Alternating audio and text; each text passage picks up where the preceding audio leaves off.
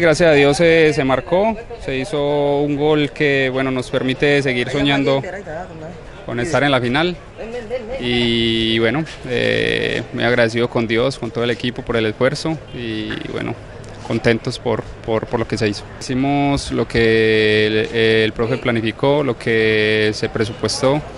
Entramos al terreno de juego a, proponer nuestro fútbol o a tratar de, de, hacer lo que nos caracteriza y, y, creo que superamos un rival que, que es muy fuerte, que es muy duro.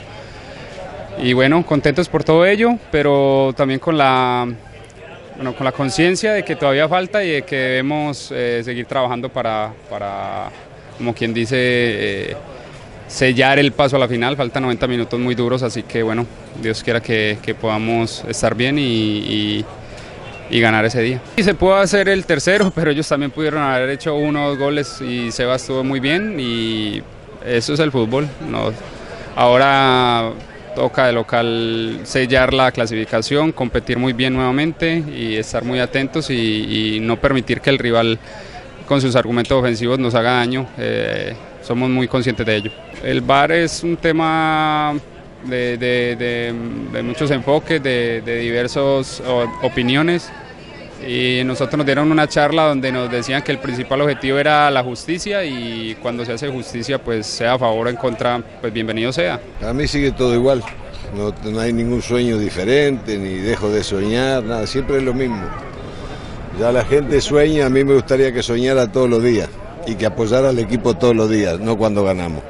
El ejemplo de, de defensa y justicia, eso es una hinchada, eso es una hinchada. ¿ok? Perdieron, quedaron eliminados, ganaron su partido, quedaron eliminados allá con nosotros y todo el estadio aplaudiendo. Así se quiere un equipo, porque yo, por ejemplo, hoy me saqué 100 fotos, porque gané, porque ganamos. Otra vez me saco 5, y esos 5 que sacan la foto se arriman con el cuento de la foto para criticar. A mí eso no me sirve, ni me interesa, ni me gusta. No quiero elogio, no quiero nada. Yo hago mi trabajo de la mejor manera que puedo hacerlo y sé qué es lo que quiero. Nada más, yo no estoy ventilando ni hablando de que quiero quedar campeón ni que ahora le vamos a ganar a todos, entonces después el domingo perdemos, Dios no quiera, y entonces ya no le vamos a ganar a nadie, ya no sé, yo estoy cansado, estoy viejo ya para eso. Plan de juego que teníamos eh, previsto y una ejecución excelente de los jugadores que al fin y al cabo es lo que determina el triunfo. ¿no? Claro.